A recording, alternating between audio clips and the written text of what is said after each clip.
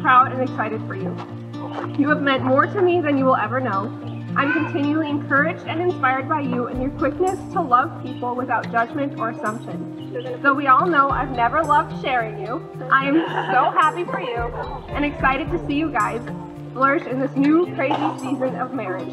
I pray that your house be filled with copious amounts of love and laughter.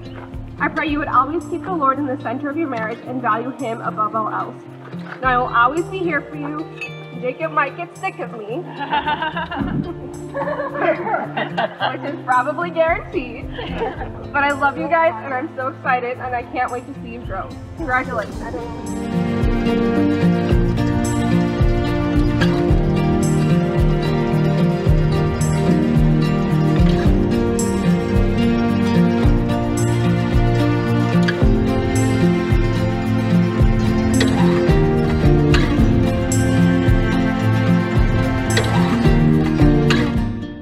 Got to see Jacob's heart uh, for service um, and ultimately for following the Lord.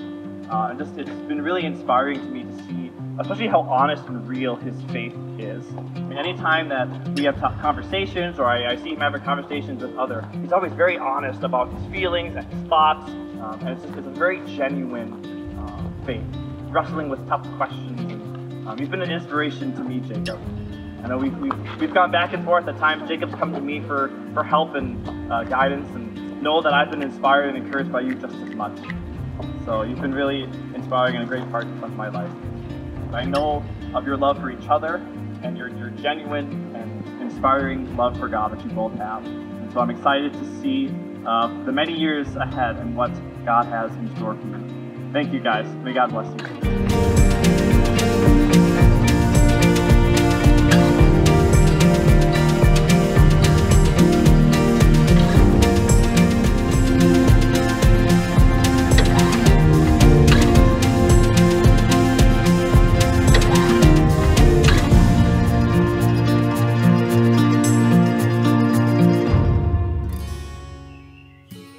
Always dreamed of taking this voyage together.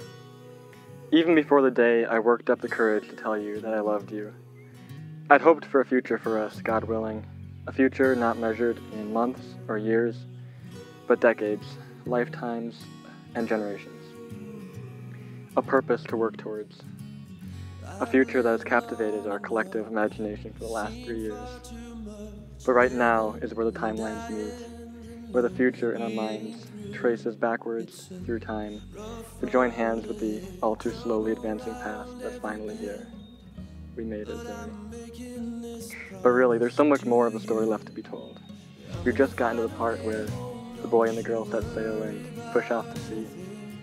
And the waves won't get any smaller, but we'll face them together and write the rest of the story.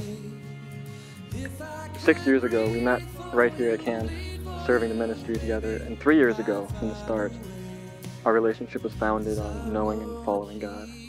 I want our marriage and life together to continue in that way and be a blessing and example of God's love to everyone we meet. You're so good to me, Zoe. You're my favorite person to talk with for hours just about anything that's on our minds. And your strengths complement my weaknesses. You always know how to make me smile. And you have a song for every occasion. You're my best friend, my teammate, and my lover, and I promise I will be the same for you. With love and sincerity and all they have to offer. From the very last beat of this heart, I'm gonna find a way Rest your weary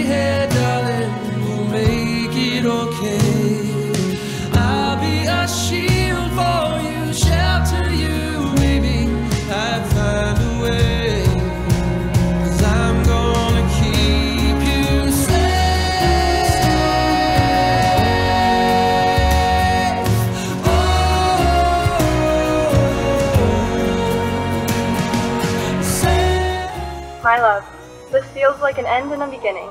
No more clouds of distance or lack of covenant keeping us in two day after day. We finally get to say goodbye to the goodbyes and spend the rest of our lives in close quarters and intimacy.